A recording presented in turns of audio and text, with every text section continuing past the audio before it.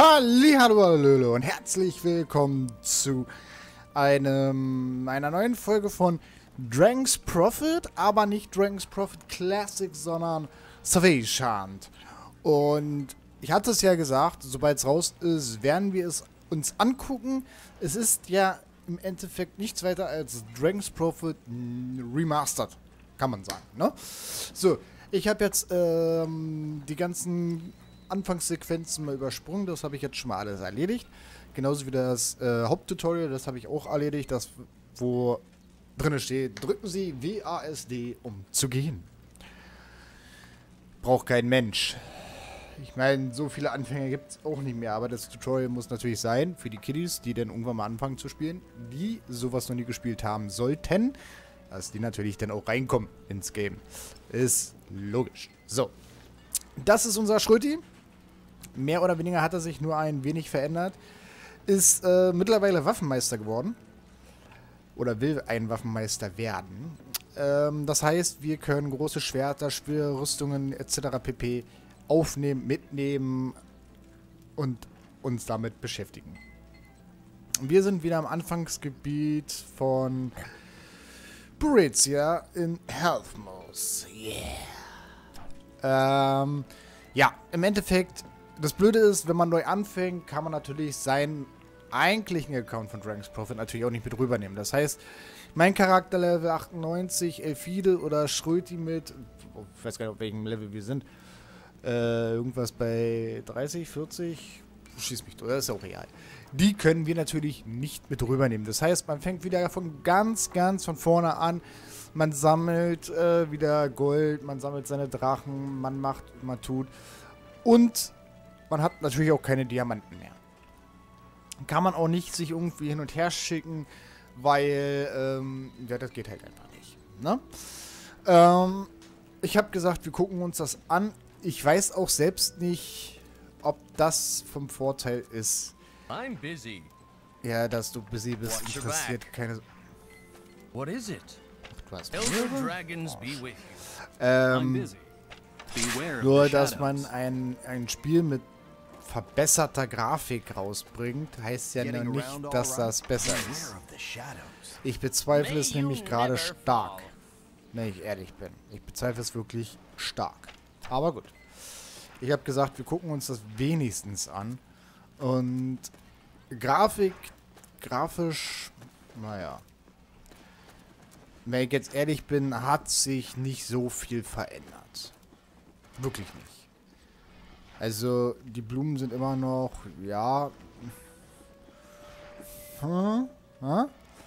Äh, Himmel sieht immer noch gleich aus. Ähm, Texturen, naja, vielleicht minimal glatter gemacht, aber wie ist jetzt. Bis jetzt fällt mir nichts auf, was sich hätte nicht auch mit dem Patch beheben lassen. Na? Ähm, von den ersten paar Minuten, die ich ähm, hier gerade spiele. Das Einzige, was mir mittlerweile aufgefallen ist, dass man hier oben eine durchschnittliche Ausrüstungsstufe hat. Ja, die werden irgendwann mal vielleicht angezeigt, keine Ahnung. Ähm, das wäre so das Einzige, wo ich sage, okay, das ist jetzt eine sehbare Veränderung vom, vom, vom Ganzen. Ansonsten, Karte sieht gleich aus.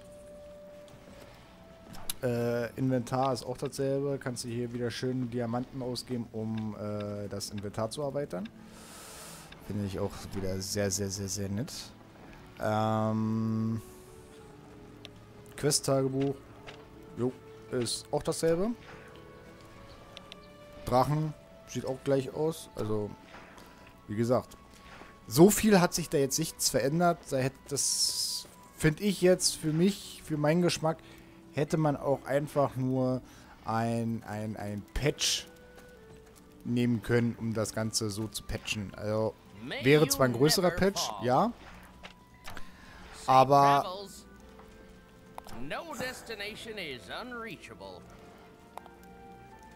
ähm, es ist für mich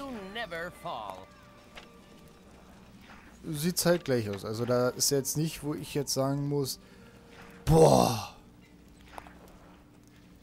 den muss ich haben. Ja, also deswegen sage ich, also ist jetzt nichts, was mich vom Hocker haut. Briefkasten, ich dachte, da kriegt man eine Willkommensnachricht, kriegt man auch nicht. So ein Scheiß. Der habe ich jetzt neue Skills. Ortwechsel. Mit diesem Skill teleportiert ihr euch an einem zuvor registrierten Punkt. Die Registrierung kann bei jedem Transportmeister durchgeführt werden. Jawohl.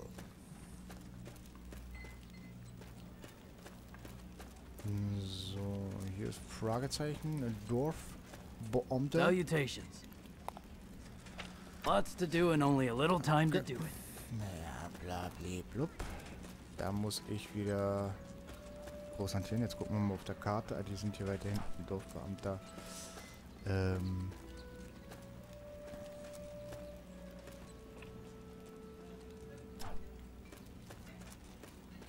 Die sind hier, okay. Das wollte ich wissen, wo ich jetzt hin müsste, um ähm, die anderen zu finden.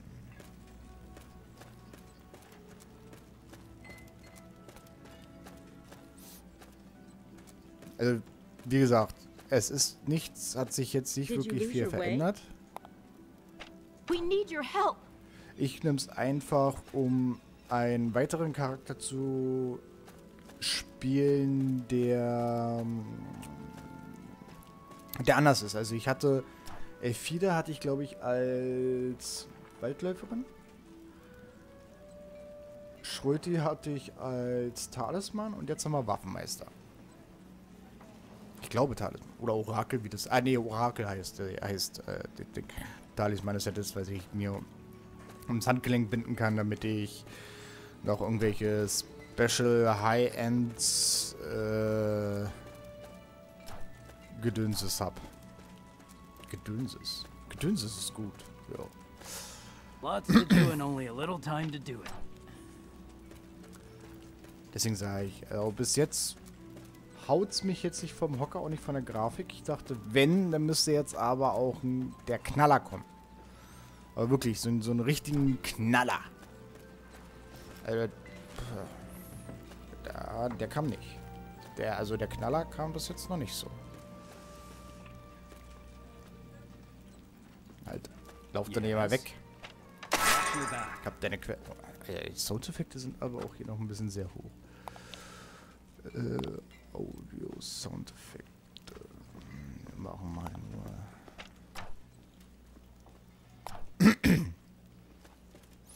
auch so die Menüs sehen jetzt auch nicht viel anders aus. Also ich bin schon froh, dass man es nicht kaufen muss, dass man es halt wie immer kostenfrei äh, spielen kann. Helft dem Jäger östlich von Helfmod im Kampf gegen die Zombies. Der ist da irgendwo.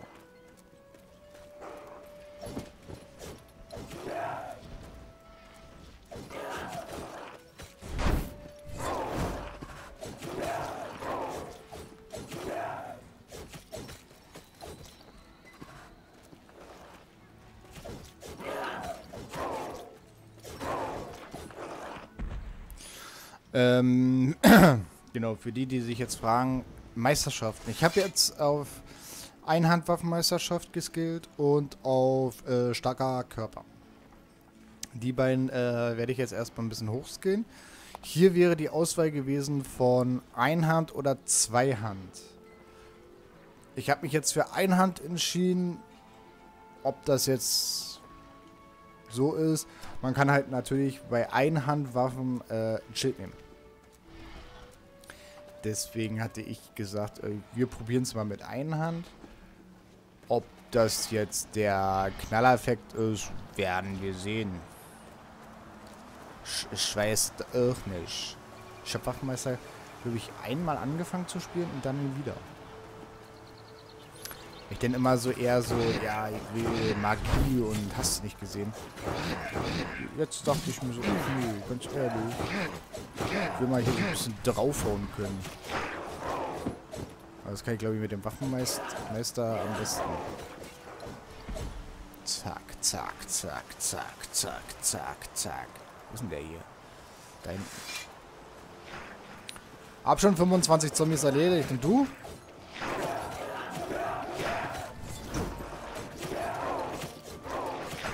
Der hat hier zum Beispiel ein Zweihandschwert. Der ist natürlich auch äh, dementsprechend ein wenig langsam.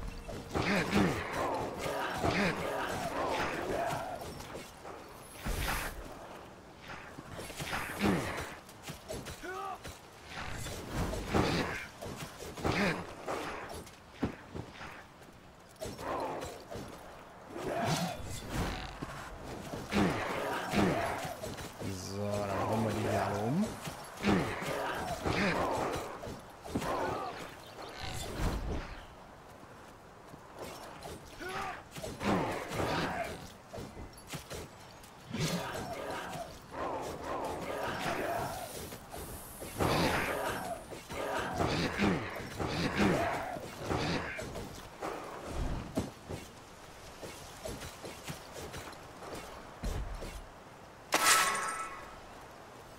Kehrt zurück in die Stadt, in die Stadt von Hearthmode und trefft dort den Jäger.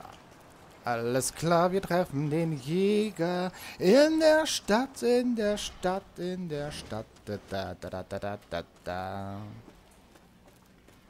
Wo ist denn der? Wo ist denn der? Papa, wo ist denn der? Wo ist denn der Jäger? Wo ist denn der? Kehrt in die Stadt zurück zum Jäger. Hm, hier ist aber kein Jäger. Wo ist denn der? Wo ist denn der geblieben?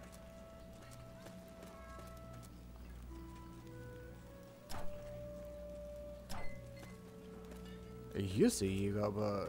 Hä? Das ist der Jäger.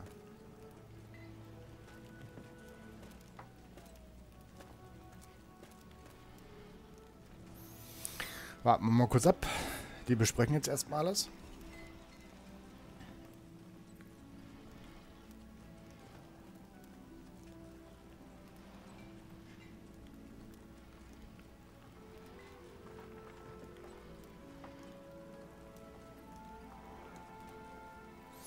Mhm, mhm, mhm. Oh, jetzt, jetzt, jetzt, jetzt, jetzt. It's up to Genau. you now.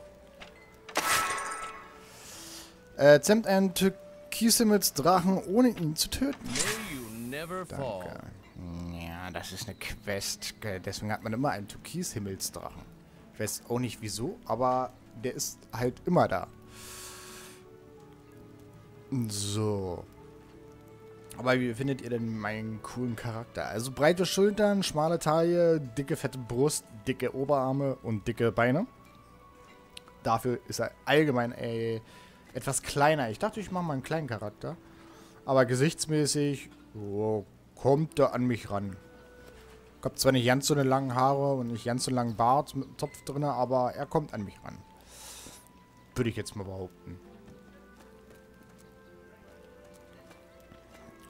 So, und dann werden wir uns hier mal darum kümmern, dass wir einen Türkishimmelsdrachen zähmen. Sag mal, willst du jetzt hier wirklich noch eins auf den Nudel haben oder was?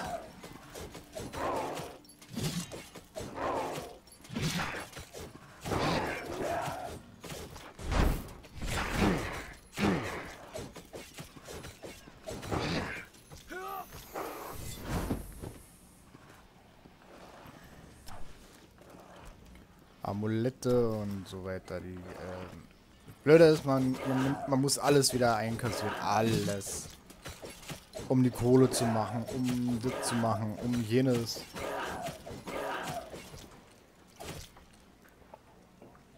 Wo ist sie denn da?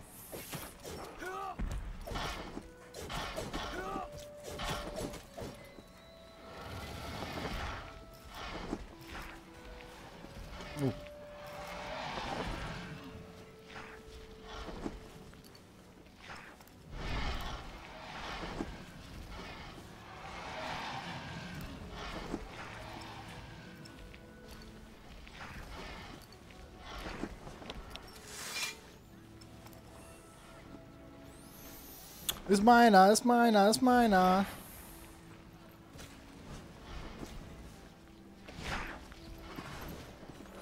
Reitskill-Coach in Ataicha.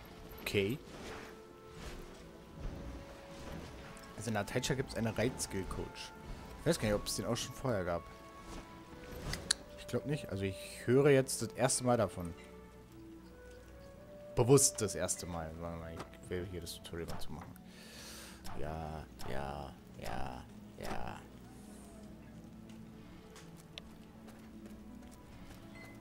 It's a time of turmoil. Watch your back.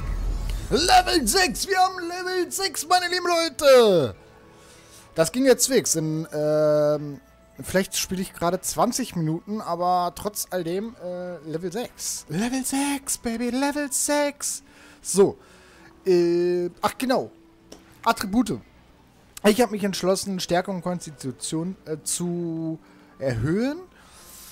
Zwischendurch ein bisschen Fokus, ein bisschen Charisma, weil kann man auch immer mal ein bisschen gebrauchen, aber nur ein bisschen. Ne? Ähm, Stärke und Konstitution ist halt maximaler HP, die brauche ich definitiv. Stärke, ich muss Schaden machen wie ein Bekloppter. Und Charisma hier erhöht äh, Basisattribute und Dauer der Kampfzeit deines Drachens. Also das heißt, meine ganzen Basisattributpunkte werden auch automatisch erhöht. Plus zusätzlich die Kampfzeit meines Drachens, die ich in den Kampf schicke, was ja öfters mal vorkommt, erhöht sich. Das ist wichtig. Aber das mache ich natürlich auch nicht regelmäßig. Das heißt, ich mache mehr Stärke. Wenn ich jetzt natürlich Charisma mache, bam, bam, ne? ähm, erhöht sich nicht wirklich was. Deswegen äh, erstmal ein bisschen Stärke.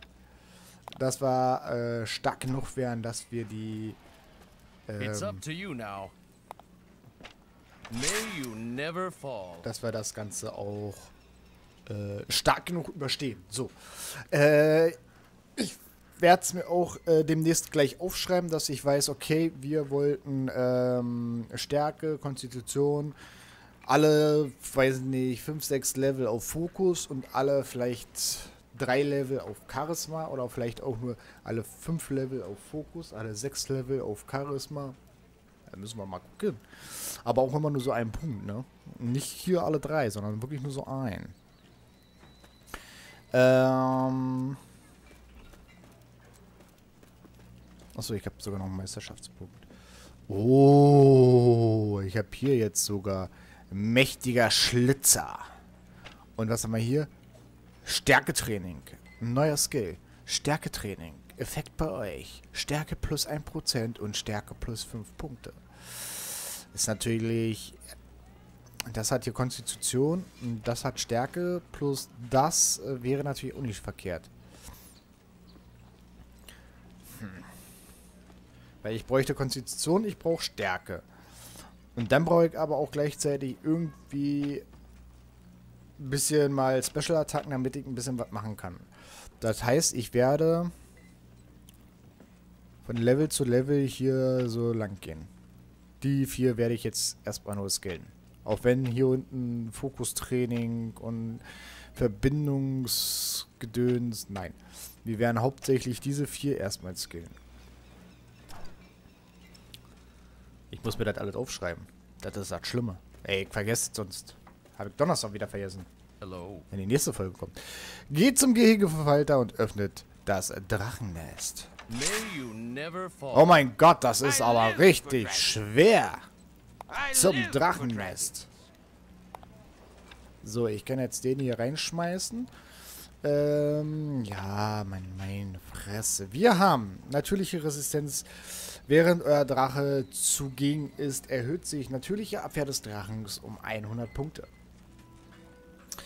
Wirbelwindklinge entlässt Winddruck. Diese verursacht bei Zielen vor euch 211 Schaden. Na, das äh, klingt auch nach einem Plan. So. Wähle zunächst eine Aufgabe aus, dem passende die Details und zeichnen. Alles klar. Skill-Ausbildung. Ärzte. Nein, wir wollen die Skill-Ausbildung machen. Er soll... Natürliche Resistenz bringt mir aber persönlich nichts. Ich mach den. Dann machen wir... Oh, ich kann nur 5 Stunden machen. Kann ich aber auch nicht anklicken.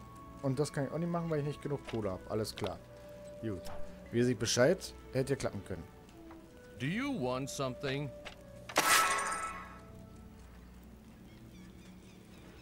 May you never fall. Splitterfusion beim Seelen... Was, was, was zur Hölle? Warum? Was für neue Skills habe ich? Ich habe gar keine neuen Skills, du. Wegwischen. Schlitzer.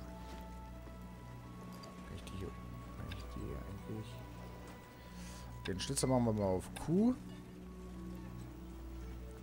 Wegwischen auf E. Mal gucken, ob das so passt. Need something? Äh, äh, äh, äh, äh, nutzt die Splitterfusion. Splitterfusion. Ich hab mir noch nicht ganz rausgekriegt, warum ich jetzt die Splitterfusion nutzen soll, wenn ich noch gar keine Splitter habe. May you never fall. Das ist, äh, naja, gut. Ähm, dann werde ich mich aus dieser Folge verabschieden.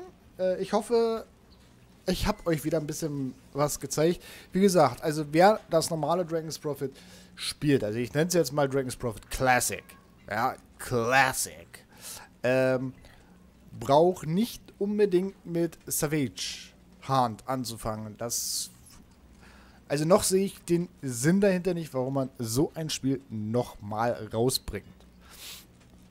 Wer natürlich neu anfängt und sich sagt, "Ah, ja, ich will neu anfangen, der kann natürlich mit äh, Savage Hand anfangen. Das ist gar kein Ding. So, ich werde jetzt auch Savage Hand wahrscheinlich, ich weiß es irgendwie noch nicht, ich kann mich noch nicht so richtig entscheiden, als Staffel 2 von Dragon's Prophet rausbringen. Das heißt also, es geht aber ganz normal weiter mit den Zahlen, nur dass ich dann davor Staffel hinschreibe, also ST.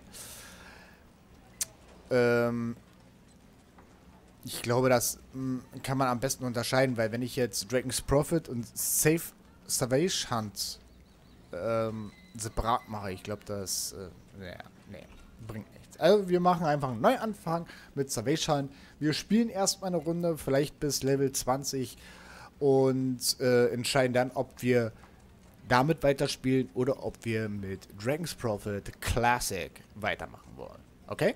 Gut. Äh, wenn euch das Video gefallen hat, gebt ein Däumchen nach oben. Ansonsten abonnieren nicht vergessen, dann verpasst ihr die Videos nicht. Und dann sehen wir uns auch schon am Donnerstag zu einer neuen Folge von Salvation, Dragon's Prophet. Bis dahin, euer Schröti. Ciao!